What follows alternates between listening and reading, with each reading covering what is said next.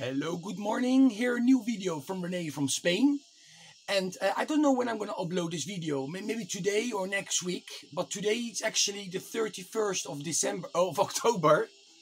Halloween, this is Hallows Eve. I love this album anyway.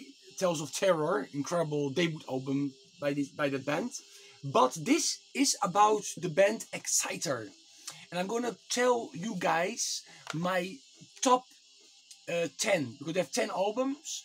My least favorite to my favorite mi top 10 eh, solo han sacado 10 discos pero los que más eh, eh, los que más me gustan desde el, el que menos me gusta a, al que más. Okay anyway.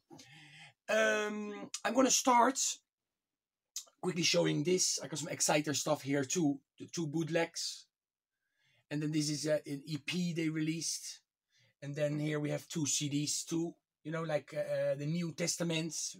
They re-recorded a lot of old songs with the new with the new vocalist back then, and the live album, you know, live in Canada, 1991, better live than that. But this is only about the studio recordings. In case somebody's interested, I don't know if you can hear anything, but I'm listening to this split, Abigail y Barbatos. Okay, okay. On number ten, we have Death Machine. This is the last record they made till date. And this has this vocalist, Kenny Winter.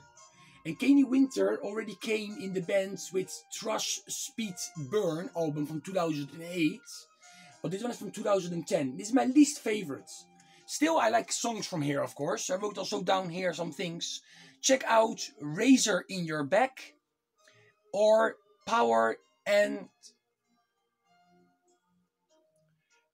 domination. That's actually mid-tempo song you know power and domination. Is not so so fast.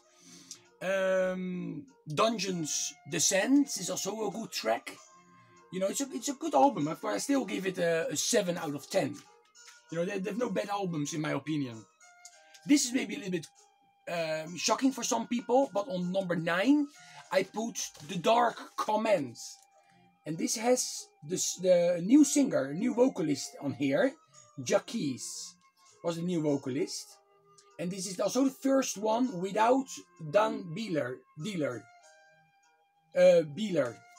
I always say that wrong, but you see? The Dark Command from 1997. This will be on number 9. Songs I like. It's Burn at the Stake. That's a really, really good song.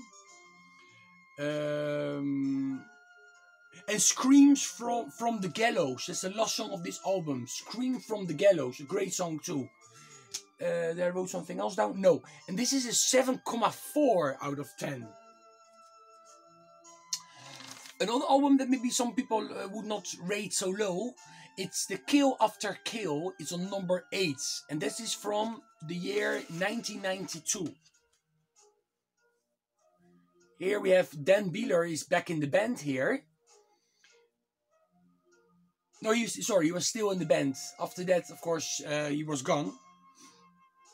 And he took um, the vocals on again on this album. Because on the album before, the Exciter album from 1988, somebody else was singing and he was playing the drums. But Dan Beehler was again uh, playing the drums and singing on this album. And here, Reign of Terror, they made a video clip for that song. It's a good one. Uh, no Life, No Future. It's a cool. It could have been on the first three albums. You know, that song definitely No Life, No Future could have been on the first three albums by Exciter. And then we have Shadow of the Cross. Reminds me of Black Witch from the debut album and Born to Kill. That's a live track on here too. Born to Kill. Okay, this is great. I mean, this is a 7,5 out of 10. And this will be on number 8, I said. Okay. On number 7, we have Blood of Tyrants from the year 2000. And this is again the same vocalist that you could hear on The Dark Command. And here we have Metal Crusader, Rule with an Iron Fist, love it. Um, brutal Warning, Weapons of Mass Destruction, Violator. Great, great album this is. Really, really good album.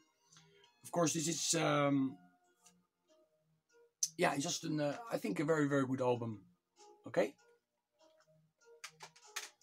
Another good album is, uh, um, did, I, uh, did I tell you the rate? Uh, Blood of Tyrants is a 7,5. No, 7,8 out of 10. And now on number 6, we have Thrash Speed Burn from 2008. And I give this an 8 out of 10. Again with uh, Kenny Winter on vocals. You know, I like the vocalist, but it's my least favorite vocalist from the four they had. You know, the drummer, then the guy from 1988, and then the Jackie, Jackie, Jackie. I, I always butcher his name. Um, it's a French name. Uh, uh, Yaquis. I think Yaquis. Maybe I'm saying it wrong. And of course, this is John Reese era exciter, you know. But it's a, it's a great, great exciter. Thrash Speed Burn, uh, Immortal Fear, Evil Omen. Check Evil Omen. Okay, that's not not a fast song, but it's a good song. And this, uh, like, this is not, um, yeah, it's, it's it's not doesn't sound pure like the, the early '80s stuff, you know. But we get into that soon, into the early '80s stuff.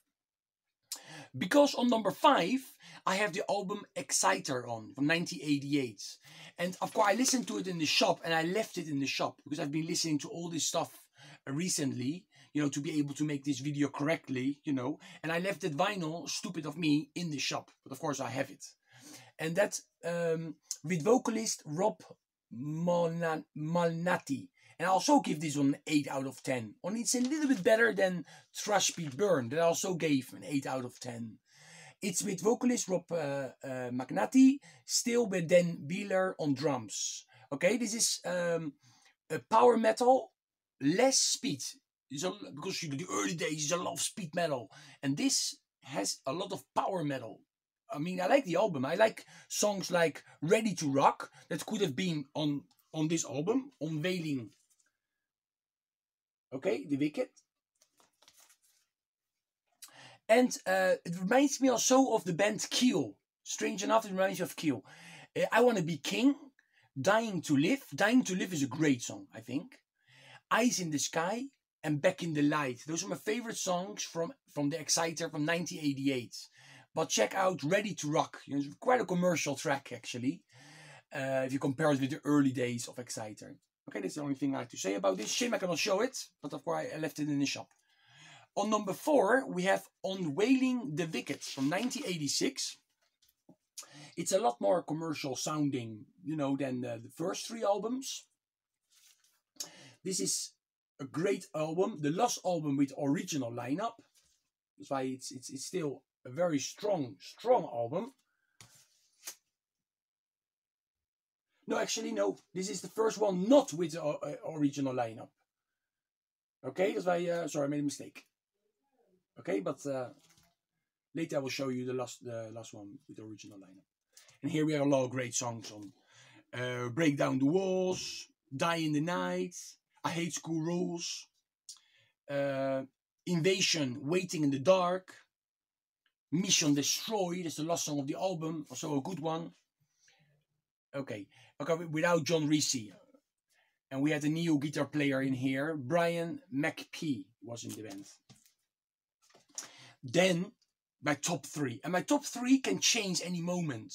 You know, sometimes my my this one, that's my in my it's the third position. It has been in the first position, you know, more than once. Okay. But now now in 2021, in October, I would go for this album on the third position. And but this is a 10 out of 10. Okay, this is all great. I'm not going to talk nothing about this because we all know it. It's a speed metal classic. I mean, this influenced also a lot of other bands back then. And still nowadays, they're influencing a lot of uh, younger speed metal bands and heavy metal bands. Heavy Metal Maniac, 1983, a 10 out of 10.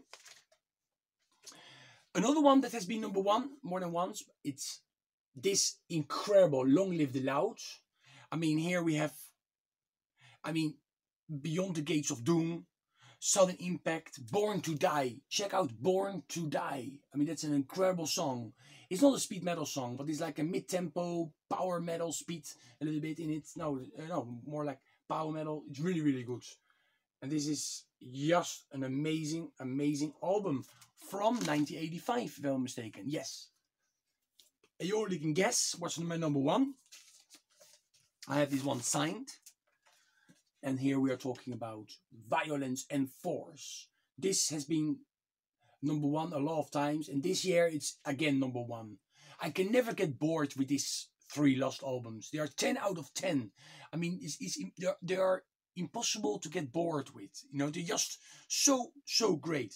You know, Violence and Force, Scream in the Night. It's a great song for, for tonight, the 31st of October, Halloween. Um, Delivering to the Master, uh, Sections of the Fire. Uh, I mean, Evil Sinner, of course. The Pounding Metal. You know, Pounding Metal is also a great song. It's just an amazing album from 1984, the second full-length album, and this is my favorite. It's actually on Banzai. I have it on Banzai, and this is a great, great album.